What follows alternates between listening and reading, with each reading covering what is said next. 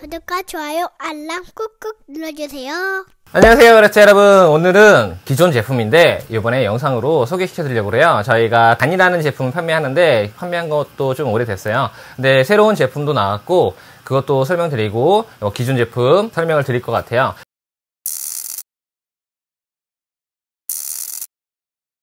이 단이라는 건 뭐냐면 간단하게 사육장을 쌓아 올리는 거예요 쌓아 올려서 공간을 최대한 줄이는 거예요 예를 들어서 쉽게 뭐 채집통 뭐 breeding box 같은 경우 보면 기본적으로 단을 쌓을 수 있죠. 채집통 위에 또 채집통 위에 채집통 위에 이렇게 쌓아가지고 올릴 수 있는 게 음, 그렇게 해줄 수 있는 제품이 단이에요. 일반 유체통은 작기 때문에 그 작은 통들을 위에 뚜껑에다가 올리면 쌓을 수가 없어요. 근데 그거를 쌓아 올릴 수 있게 만든 제품이 단입니다.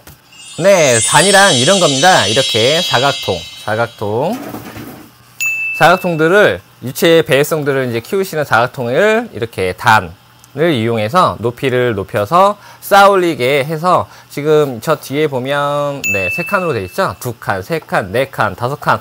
마음대로 올릴 수 있어요. 마음대로 올릴 수 있고 그리고 이런 빗살이라고 해서 환기가 되어 있는 일반 통이 하나 더 있는데 이 통 같은 경우는 기존 그 뚝 덮개에 5mm 정도의 하나가 더 붙어 있어서 위에 이렇게 쌓을 수 있어요. 이런 식으로. 네.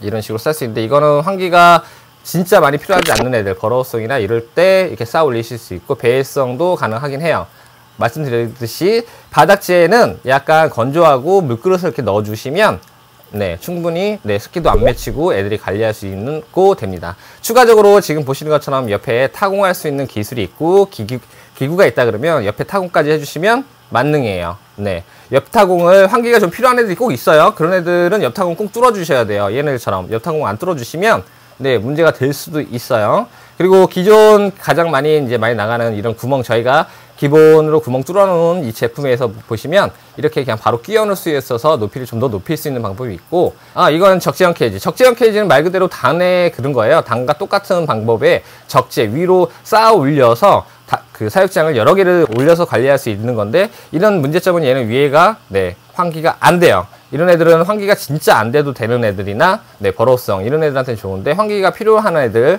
네 그리고 바닥을 좀 적셔서 습하게 키워야 되는 애들한테는 좋지 않아요. 이런 경우는 환기가 될 수 있게 만든 통에 네 단을 사용해서 쌓아 올리시면 됩니다 지금 여러 방식으로 쌓아 올려서 2단이건 3단이건 얘는 지금 체리통을 쌓아 올렸는데 체리통을 많이 못 올려요. 올리면 이게 쓰러져요. 지금 기우뚱하죠? 네 쓰러져요. 체리통은 그게 단점이고 일반 저기 보시면 네 브리드박스. 브리드박스는 쌓아 올릴 수 있어요. 많이 쌓아 올릴 수 있어요. 많이 쌓아 올릴 수 있어서 네 브리드박스를 좀 많이 선호하시는 분도 계시죠? 여기 보시면 네 이렇게 아크릴 케이지도 아크릴 케이지도 위에 단을 붙여서 덮개나 아니면 밑, 밑면 밑면에다가 이 밑면에다가 단을 붙여서 이렇게 쌓아 올릴 수 있어요. 밑면은 당연히 밑에 있을 애한테는 위에다 붙이고 위에 있어야 될 애들은 밑에다 붙여 가지고 하면 하나만 있으면 이렇게 단을 쌓아 올려서 저렇게 높게도 예, 관리가 가능하죠? 저거는 좀 새로운 방법인데 저거는 네 아크릴 쉐이통만 가능한 거예요. 약간 꺾어서 꺾어서 꺾어서 계속 쌓아 올릴 수 있는 방법이에요. 예, 저 방법도 있고. 추가로 짜잔! 이 방식은 조금 진짜 환기도 잘 안 돼도 되는 애들이긴 한데요. 체입통을 높게 싸는 방식이에요. 이 방식은 모르신 분들 진짜 많아요. 뚜껑을 뜯어 빼서 네 거꾸로 씌워주고 쌓아 올리면요. 안 무너지고 저렇게 쌓아 올릴 수 있어요. 안 무너지게 쌓아 올릴 수 있고 저렇게 배회성이나 버로성들을 저렇게 여러 개를 사육해야 될 경우 저렇게 하는 방법도 있는데 단점은 환기가 잘 안 됩니다. 환기가 잘 안 되게 세팅, 바닥재 건조, 네, 물그릇 넣어줬을 때는 사육할 수 있고 습하고 뭐 해야 될 때는 네 특히 그러니까 버러우성한테는 맞고 배회성도 맞고 나무위성한테는 절대 하면 안 되는 거예요. 네 배회성, 버러우성. 네 여기서 퀴즈 나갑니다. 환기가 잘 안 돼도 되는 생물 타란툴라는 버러우성과 네 배회성이에요. 그리고 환기가 잘 돼야 되는 애들은 네 나무위성. 환기가 잘 안 되는 데서 키우시면 네, 당연히 죽겠죠. 그러니까 정답은 네, 환기가 잘 안 돼도 키울 수 있는 종은 퍼로우성, 폐성. 네, 이게 정답입니다. 네, 보시고 오셨죠?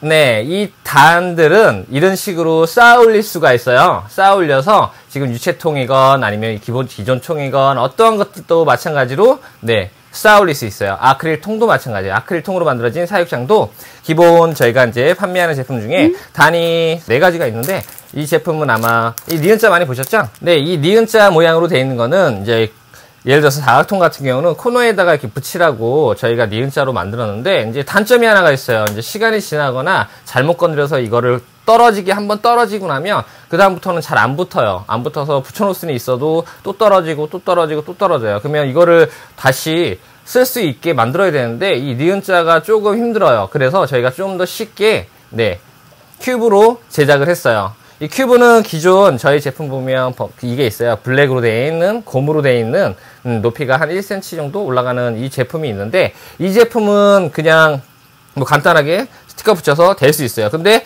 이거를 어떻게 보강을 하고 다시 문제가 됐을 때 집에서 간단하게 할 수 있는 방법이 있어요. 그래서 저희가 얘나 얘, 이 방식을 할 때 어떻게 보강하는지 네, 이따가 다시 한번 보여드리도록 할게요. 그러면 지금은 이런 단들이 있는데 이것도 단이에요. 이거는 이제 기존 처음 나왔을 때 저희가 이런 포맥스를 된 뚜껑을 만들었죠. 여기다가 간단하게 이렇게 끼워서 끼워서 단을 올리는 방식이 있는데 이 방식 말고도 이런 구멍이 없는 기존 뭐 다른 집에서 사용하고 있는 거다 그러면 이런 양면 스테이프로 돼서 부착이 되어 있는 거를 간단하게 붙여서 높이를 일정하게 띄우는 띄우는 장치가 단입니다. 이게 단이고요.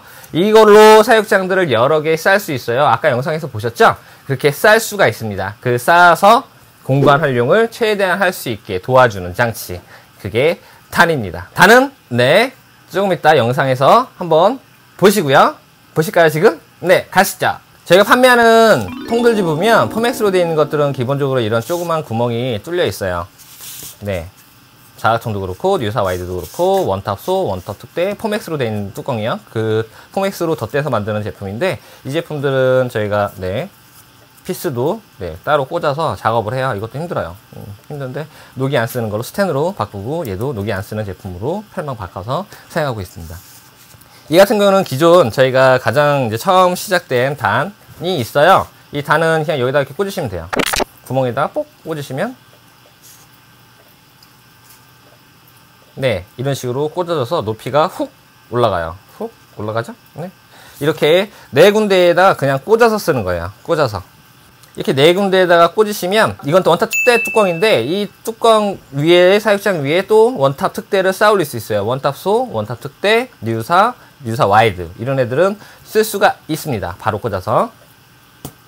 만약에 이런 구멍이 없는 거 집에서 사용하고 계시다 그러면 이렇게 이런 큐브나 네. 이게 단점이 있어요. 장단점이 있어요. 이건 좀 시간이 지나면 끈적끈적해져서 뚜껑이 이렇게 붙어서 떨어지는 경우가 있어요. 그러니까 이 뚜껑이 같이 올라오는 경우가 있어요. 근데 안 미끄러져요. 고무로 돼 있어서.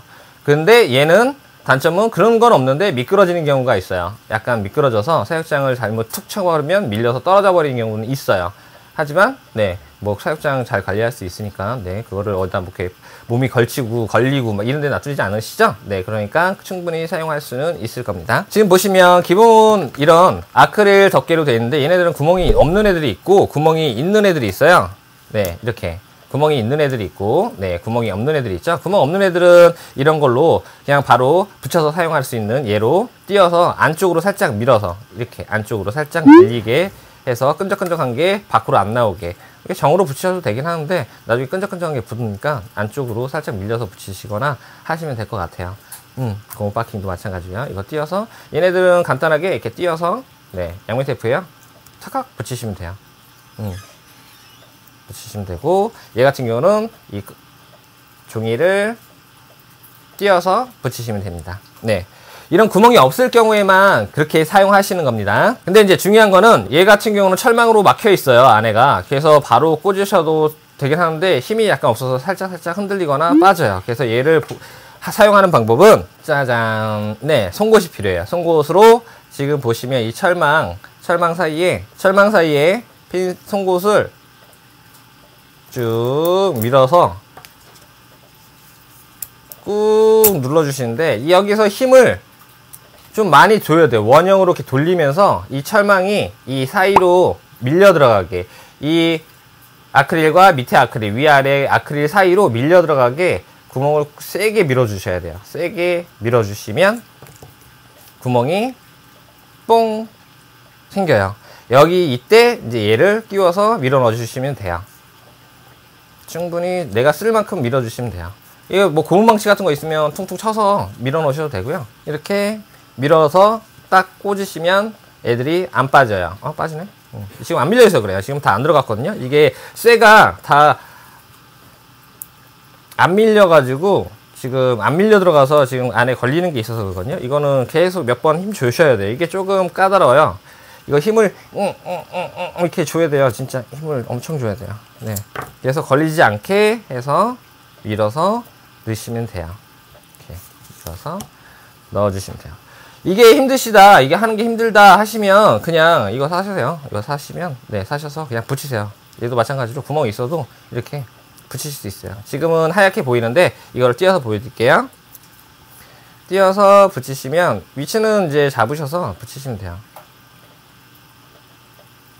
딱잡 붙이시면 돼요. 음. 투명이라 깔끔하게 떨어져요. 깔끔하게 보이기 때문에 뭐 이상하지 않아요. 이렇게 붙이시고 나중에 얘네가 이제 떨어져서 이게 힘을 줘서 떨어뜨릴게요. 떨어뜨려서 이제 끈적끈적한 게 진짜 많이 없어졌어요. 끈적끈적한 게 안에서 이제 계속 떨어진다. 그러면 여기다 다이렉트로 3M 이런 테이프나 아니면 저희가 판매하는 양면 테이프나 네 상관없어요. 상관없는 거를 띄어서 고무를 붙이세요. 이렇게 붙이시고 그 대신 4개를 다 똑같이 해야겠죠? 아니 그러면 이게 3M은 얘 같은 경우는 두껍기 때문에 똑같은 걸로 하려 그러면 저희가 판매하는 걸로 하시면 되고요. 좀 이거 두께가 바뀌는 거다 그러면 4개 다 띄어서 한 번에 같이 작업하세요. 여기서 이제 가위 가위로 쓱 썰어내시면 돼요. 딱 대고 썩썩썩썩썩썩썩 썰면 썰립니다. 잘라내시고 그 다음에 또 마찬가지로 이 뒷면을 벗기셔서 벗기셔서 딱딱 붙이시면 끝나요. 그러면 보강이 돼요. 그렇게 해서 보강을 하셔서 또 사용을 할 수가 있습니다.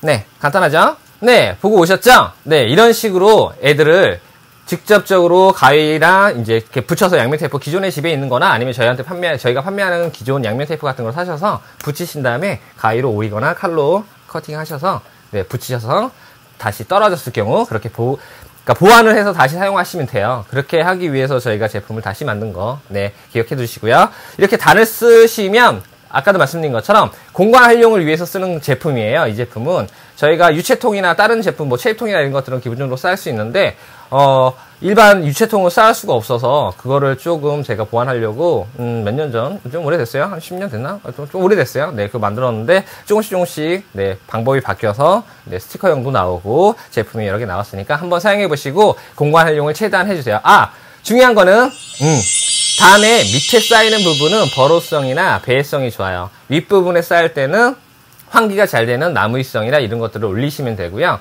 기존 그 일반적인 타란툴라 할 때 1cm 정도만 해도 환기가 잘 되긴 하는데 그래도 환기가 더 필요한 애들이 있어요. 뭐 핑크토나 이런 애들은 최상위권으로 나무위성들은 최맨 위 꼭대기에다가 쌓을 수 있도록 해주세요. 그러니까 예를 들어서 원탑소나 원탑 특대 같은 거를 쌓아 올리고 싶어서 이런 단을 썼다 그런 경우는 꼭 네 아시겠죠?